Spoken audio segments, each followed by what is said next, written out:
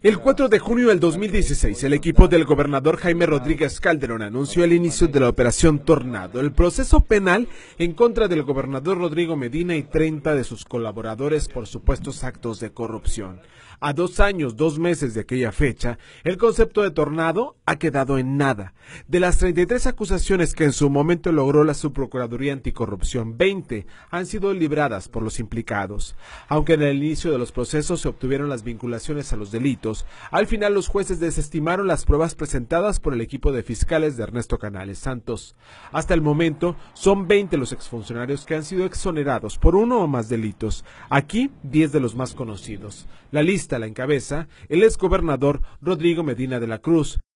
Le siguen el exdirector de Agua y Drenaje, Emilio Rangel Gutier, el exvocero, Jorge Doménez Zambrano, el exdirector de Adquisiciones, Néstor Armstrong Montemayor, la exdirectora de Turismo, Patricia Aguirre González, el ex subsecretario de Obras Públicas, Pelegrín Contreras Mesa, el exdirector de Vivienda, Juan Manuel Fernández García, el exdirector de Administración Alejandro Dávila Treviño, el exdirector de Sistema de Caminos Víctor Ramón Martínez, el exdirector de Focrece Edgar Guerrero Martínez.